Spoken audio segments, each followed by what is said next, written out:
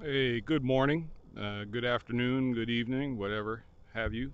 Um, today I was taking a look at uh, check engine light and I was trying to figure out how to induce a P0300. DTC P0300 is a random cylinder misfire and I couldn't get it to work as far as giving you a good test situation, but figure we could mention a few things to check when you come across the P0300. The P0300 as opposed to others, now in this case, uh, Serenity's engine has four cylinders, so the possibility is that you could have P0301, 302, 303, or 304, which refers to an individual cylinder problem P0300, on the other hand, refers to a, a general problem. Now, depending on the way that you look at it, it could be more or less um, easy to, to diagnose because if you're looking at a single cylinder problem, well then let's say let's say if you were looking at a P03 P0301 then you would only be looking at cylinder one. So you would check spark plug cable number one, uh, maybe spark plug number one, uh, maybe uh, the fuel injector number one. And if those things didn't pan out, then you would probably go into doing a uh, cylinder leak down test or compression test, but only on cylinder one, perhaps comparing it to cylinder two. Um, just because it would be easier to do it all at once. But on the other hand, a P0300, P00, P0300, referring to a, a, a general random misfire, could be easier to diagnose because then you're looking at a systemic problem, not just an individual problem. So instead of if you have a random misfire P0300 looking at 1 and 3 and 2 and 4, or if you have up to 12 cylinders depending on the vehicle. Instead, you're going to look at general things that affect the entire engine. So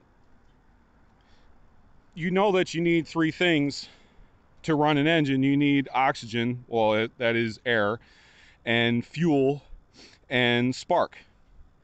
And so in this case, how likely is it for this type of a coil to, to go bad on all four at one time? It's probably not likely.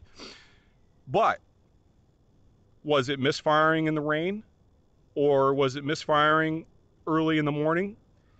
In that case, dew or rain could be shorting out perhaps a, uh, a worn out spark plug boot or a worn spark cable or anything like that that would cause spark to jump away or jump from the coil straight back to ground and then it's not going to fire the engine. That could be a systemic problem. If you've got individual coil on plug, it's probably not the issue because each one of those coils refers to a single cylinder. Uh, another systemic problem might be the air intake measurement. So if you've got a map sensor and your map sensor is going bad, that would affect the whole system. Or if you have a clogged fuel filter, that too would affect the whole system as opposed to just a single cylinder.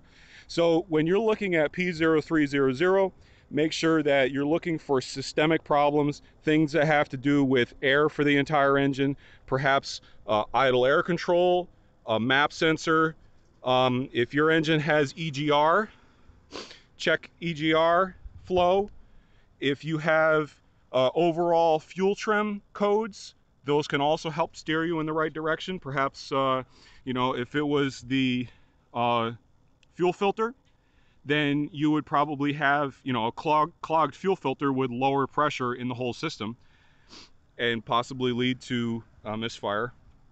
Uh, similarly, uh, this one has a uh, vacuum driven um, fuel pressure regulator. If that goes bad, then it's going to suck. It, I've, I've seen Volvo engines, uh, older ones, suck fuel right through the diaphragm into the engine and flood them out. Um, what other issues? Uh, this one, I know I, I already know I have the purge problem. This purge valve under here I have to replace because it's leaking. Um, if you've got excess fumes coming in through the fuel tank, that's excess air. It's unmetered air, which means that it is throwing off fuel trims and it could, could lead to a general misfire. Um, any other issues I can think of? Um, think about vacuum leaks like Okay, we already mentioned the vacuum leak at the purge valve. Um, at the if if your car has a vacuum brake booster, if this goes bad, it's going to suck in unmetered air and could lead to a misfire. So just to, to round things up to remember, if you're looking at an individual misfire, P0301 for example, well, you're only going to look at one cylinder that might be easy, it might not be. It depends on what goes wrong. On the other hand, if you're dealing with a general misfire, random misfire is P0300, then you're going to look for systemic problems that have to do with air for the entire system, fuel for the entire system, or spark for the entire system. And that about sums it up. I hope this help, hope that this was helpful and uh, keep uh, keep tuned, stay tuned for other other mishaps, other diagnostic tools and ideas on diagnostic trouble codes. Okay, have a good day.